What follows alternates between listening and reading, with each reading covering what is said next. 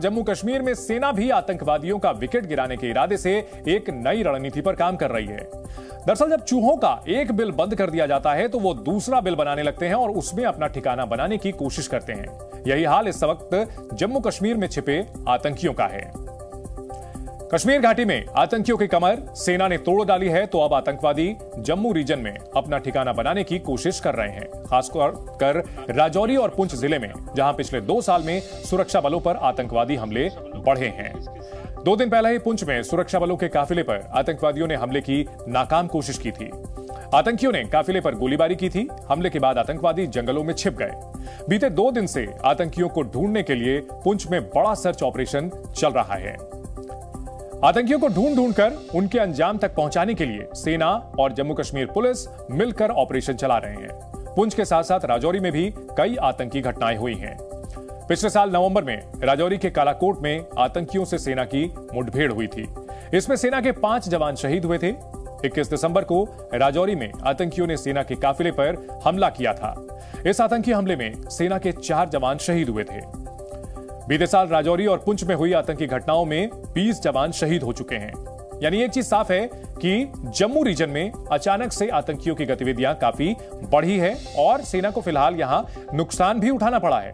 कश्मीर के बाद अब जम्मू रीजन से आतंकवाद की सफ़ाई के लिए सेना ने अब बड़े ऑपरेशन की शुरुआत कर दी है।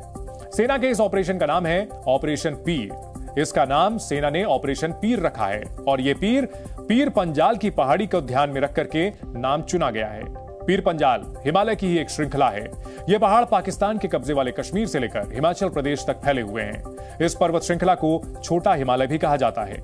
यहाँ के पहाड़ अधिकतम तेरह हज़ार फीट ऊँचे हैं। पीर पंजाल की पहाड़ियों के बीच से ही रावी, चिनाब और झेलम जैसी नदियाँ भी बहती हैं। पीर पंजाल की पहाड़ियों में काफ़ी घने जंगल हैं। पहाड़ियों पर कई गुफाएँ और सुरंग है, जिसका फ़ायदा आतंकी छिपने के लिए उठाते हैं। साथ ही पाकिस्तान इन्हीं जंगलों के ज़रिए आतंकियों की घुसपैठ भी करवाता है। राजौरी और पुंछ में आतंक के सर्वनाश के लिए अब सेना ने ऑपरेशन पीर शुरू किया है।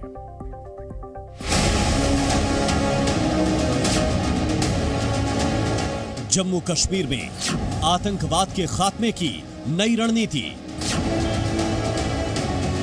राजौरी और पुंछ में आतंकियों के खिलाफ सेना का बड़ा ऑपरेशन।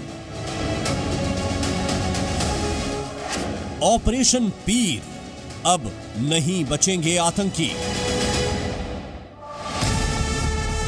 हाथों में अत्याधुनिक हथियार चप्पे चप्पे पर नज़र। और लक्ष्य एक, राजौरी और पुंछ में आतंकवाद का सर्वनाश।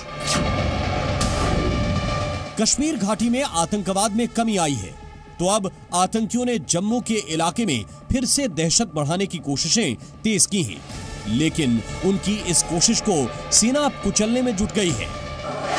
इसके लिए सेना ने ऑपरेशन पीर की शुरुआत कर दी है। ऑपरेशन पीर का मकसद राजौरी और पुंछ से आतंकवाद का जड़ से सफाया है। ऑपरेशन पीर के तहत राजौरी, पुंछ के अलग अलग इलाकों में तलाशी अभियान चलाया जा रहा है। इन इलाकों में कई सारी ऐसी प्राकृतिक गुफाओं को देखते हुए सुरक्षा बल लगातार अलग अलग टेक्निक का इस्तेमाल जो है वो कर रहे हैं। अलग अलग गैजेट्स का इस्तेमाल यहाँ पर किया जा रहा है, जिसकी मदद से जो टनल्स हैं, उसको भी खंगाला जा रहा है। कई सारी ऐसी जो सुरंगें हैं, उन्हें यहाँ पर तबाह भी किया जा रहा है, ताकि वो परमानेंटली जो आतंकी लगातार जिनका इस्तेमाल करते थे, उनके लिए पूरी तरह से बंद हो जाए। ऐसे में सुरक्षा बलों की मूवमेंट आप देख सकते हैं, ये दिखाती है कि कितनी तेज़ी से ये ऑपरेशन पीर जो है, वो चलाया जा रहा है और इसकी आतंकी आतंकियों की जो मौजूदगी है, उन्हें पूरी तरह से यहाँ से खत्म करने के लिए जो ऑपरेशन पीर है, ये आतंकियों का काल साबित हो रहा है। ऑपरेशन पीर की मॉनिटरिंग सेना और पुलिस के वरिष्ठ अधिकारी कर रहे हैं। सेना के northern command chief, lieutenant general Upendra Dwivedi ने पिछले दिनों राजौरी का दौरा कर जम्मू कश्मीर पुलिस के अधिकारियों के साथ सुरक्षा पर समीक्षा बैठक की थी।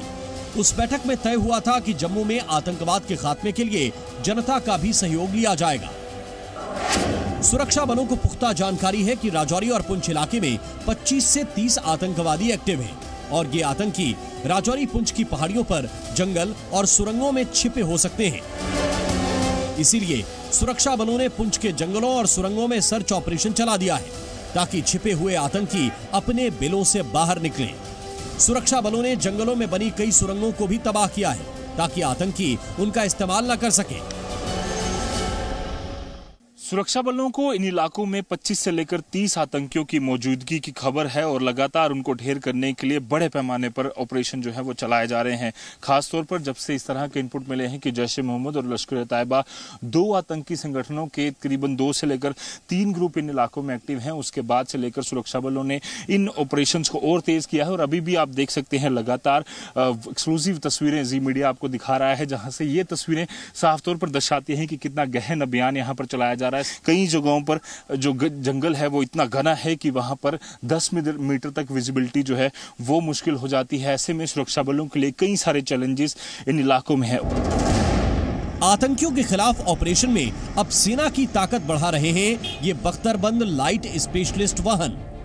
ये गाड़ियाँ बुलेट प्रूफ हैं। मुठभेड़ के दौरान सुरक्षा बलों के लिए आतंकियों के करीब जाना आसान होता है। इनके पहियों की बनावट के कारण ये पहाड़ी इलाकों और घने जंगलों में भी आसानी से पहुँच जाती हैं, जहाँ